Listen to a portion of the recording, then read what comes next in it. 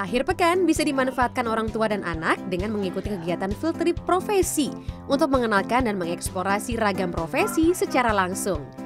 Kegiatan simulasi menjadi seorang chef atau juru masak misalnya. Aktivitas dimulai dengan mengenalkan menu kuliner melalui kegiatan mewarnai gambar makanan. Kemudian anak-anak mencoba langsung membuat menu makanan seperti menu mashed potato dan beef pepper rice. Anak-anak belajar tentang bahan-bahan makanan hingga teknik dasar memasak yang sederhana seperti menuang, mengaduk, dan menata makanan di atas piring. Jadi kita platingnya dulu, nanti yang masak akan ada chef profesional di dapur. Jadi hal ini juga bisa meningkatkan skill motorik si anak, kreativitas, dan juga kemandirian. Satu lagi. Oke, nah udah deh. Siap dimasak, sudah jadi. Nah, untuk menjaga keamanan peserta, bahan masakan dipanaskan oleh chef resto dan hasilnya bisa dinikmati bersama. Salah satu orang tua peserta, Mia, mengaku sudah beberapa kali mengajak putrinya yang berusia 7 tahun mengikuti field trip profesi harapannya ya dia sebenarnya biar tahu ya uh, profesi itu banyak gitu bukan cuma profesi ibu bapaknya doang gitu ya. Profesi lainnya itu banyak pilihannya buat dia ke depannya gitu.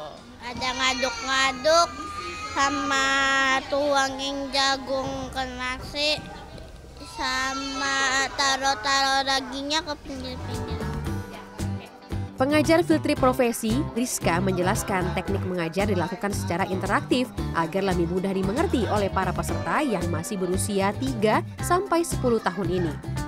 Paket kelas filtri profesi ini rata-rata seharga Rp200.000 per anak eh, terutama anak-anak usia dini yang di sekolahnya mungkin belum ada kegiatan di luar sekolah seperti ini kita menjadi alternatif untuk orang tua juga untuk pengenalan profesi. Selain chef, ada juga kelas mempelajari profesi pilot di salah satu bandara di daerah Cibubur, Jakarta Timur. Para peserta dijelaskan mulai dari sejarah penerbangan, tugas seorang pilot, hingga jenis-jenis pesawat. Mereka dapat melihat langsung pesawat tersebut di hanggar dan dijelaskan bagian-bagian pesawat serta fungsinya. Selesai berkeliling, anak-anak dapat menjajal seragam pilot cilik dan berfoto di depan pesawat. Selain itu, mereka juga diajarkan cara merangkai pesawat yang terbuat dari kertas. Salah satu orang tua peserta, Wahyu, sengaja mengajak putranya yang masih berusia 6 tahun karena memiliki cita-cita menjadi pilot. Untuk saat ini sih cukup senang ya karena anaknya memang mau jadi pilot. Jadi pas banget dengan kegiatan uh, ini gitu. Aku mau jadi pilot karena mau nerbangin Garuda Indonesia. Harapannya, pengalaman ini dapat menambah wawasan dan menambah motivasi anak untuk terus belajar agar dapat mewujudkan cita-citanya di masa depan.